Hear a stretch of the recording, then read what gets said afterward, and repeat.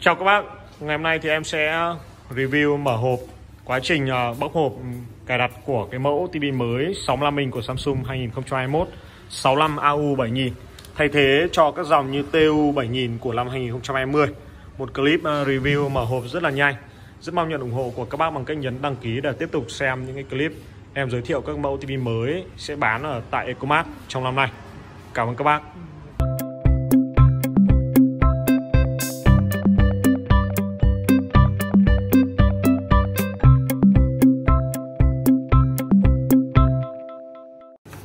À, để có thể tháo được đai thì à, em thường là sẽ dựng đứng nó lên. Sau đó thì à, các bạn sẽ sử dụng các cái à, đai nhựa và tiến hành à, di chuyển kéo dần để có thể tháo đai ra. À, mẫu 65 AU 7000 này là mẫu thay thế cho dòng TU 7000 của năm 2020 màu sắc của vỏ hộp khác biệt hoàn toàn so với cái màu của năm 2020 2021 thì có thể thấy là cái vỏ của Samsung uh, theo cái tiêu chí là thân thiện với môi trường hơn rất là nhiều. Những cái dòng vỏ này thì có thể dễ dàng tái chế. Đấy, con AU7000 này uh, là dòng Smart TV có độ phân giải 4K à, bây giờ thì em sẽ thử xem là con này nó sẽ có cái thiết kế nó như thế nào cũng như tính năng có thay đổi gì nhiều so với cả năm 2020 không các bạn nhé. 65 AU7000 à, sau khi uh, tháo đai thì uh, sẽ tiến hành nhấc nó ra.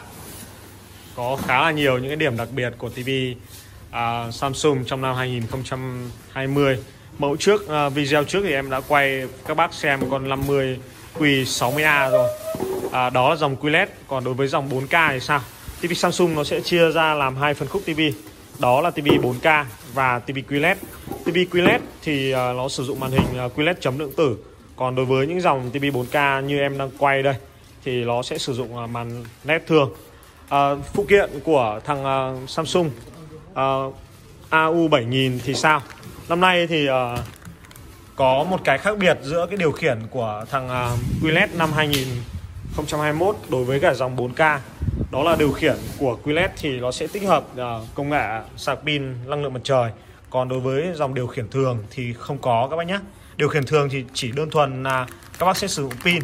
Nó vẫn có pin đi kèm này và các bác cũng uh, sẽ không có khả năng sạc bằng năng lượng mặt trời như cái dòng của QLED trở lên.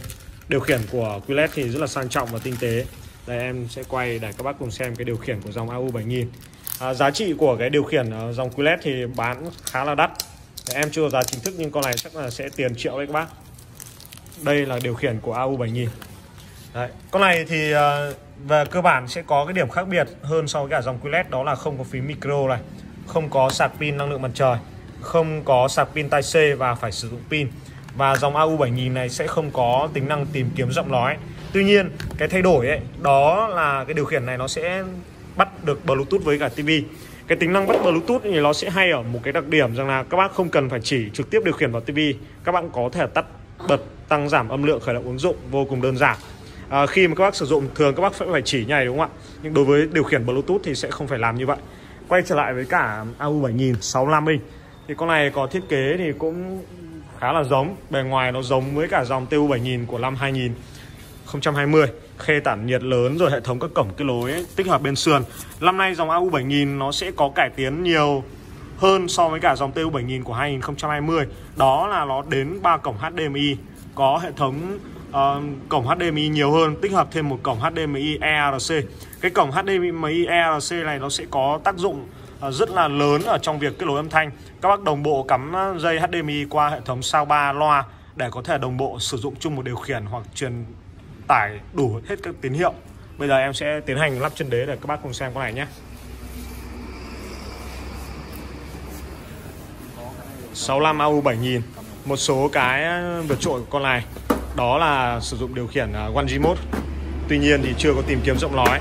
Đã có tính năng Bluetooth để kết nối điều khiển với cả uh, TV uh, chân đế thì ờ, lắp đặt cũng rất là đơn giản. Các bác chỉ cần uh, tìm đúng khu vực lắp các bác lắp cựa vào thôi. Uh, con này thì có sẽ độ phân giải 4K chạy hệ điều hành Tizen OS của Samsung trong năm 2021 này à, bên này là 50Q60A còn đây là 65 AU 7000 Đấy, một cái clip em quay review khá là nhanh để các bác cùng xem. Nó sẽ có những đặc điểm thông số kỹ thuật như thế nào. Ở các clip sau thì em sẽ so sánh với các dòng TV cũ uh, cập nhật giá thành để mọi người cùng tham khảo. Đấy, rất mong mà nhận được ủng hộ của các bác các bác nhé. Cảm ơn các bác.